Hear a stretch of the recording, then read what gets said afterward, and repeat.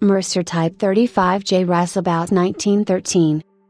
The Mercer Type 35 Raceabout of 1911-14 is the most legendary American automobile of the brass era and is widely considered to be the U.S.'s original sports car, introduced a year prior to its arch competitor, the Stutz Bearcat.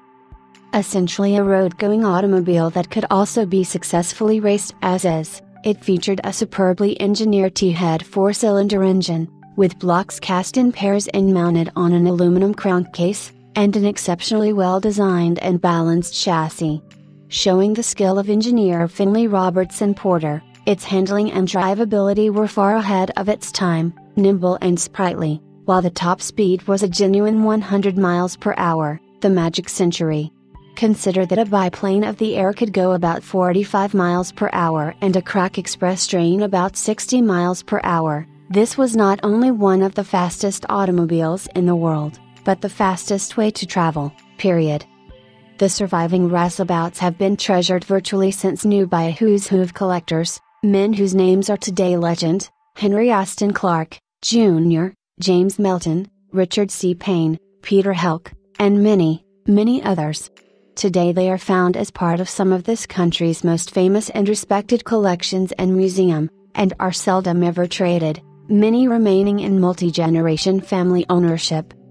Simply put, to buy a T-head Mercer is to love it and, in many cases, to own it for the remainder of one's natural life.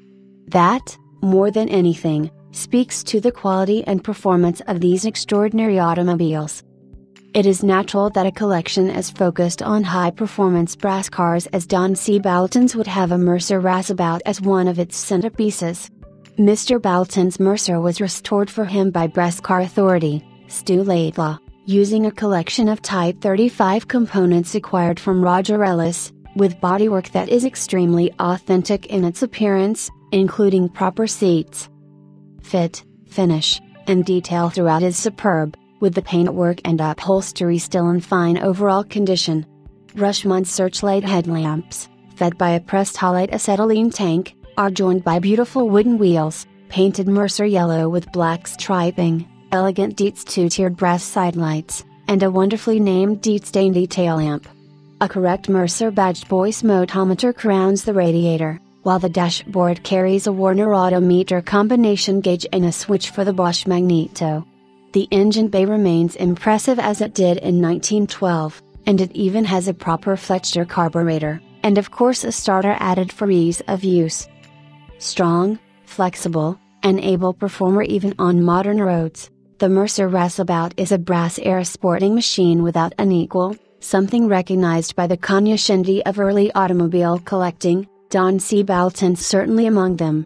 Offered here is an opportunity to acquire one of the great automobiles from one of the great collections, a remarkable moment.